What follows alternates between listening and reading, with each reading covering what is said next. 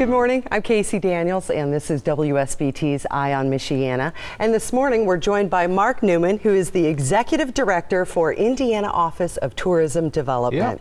It's honest to goodness Indiana. Tis the season for outdoor activity. Let's talk about some of the hot spots throughout our state. Well, yeah, this time of the year, if you're talking about outdoor hotspots, you've got to take advantage of Indiana's great lakefront and the beautiful lake getaways that we have in our state.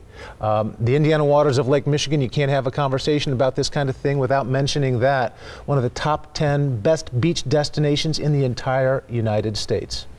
But then if you head a little bit further south, Lake Maxinkuckee in Culver, Marshall County, a terrific beach get getaway. Winona Lake in Kosciusko County near Warsaw, another terrific one. And what you have in these beautiful inland lake areas are wonderful restaurants, that great bed and breakfast experience, all of the great water activities that you can engage in, all in wonderful communities. It's Indiana's bicentennial, and coming up on September 9th is the Indiana Torch Relay. Quickly tell us about that. Yeah, the Torch Relay, it starts, as you said, September 9th in Corydon, our state's first capital, down in the southernmost part of our state. And then it begins a 3,200 mile journey, meandering through all 92 counties of Indiana.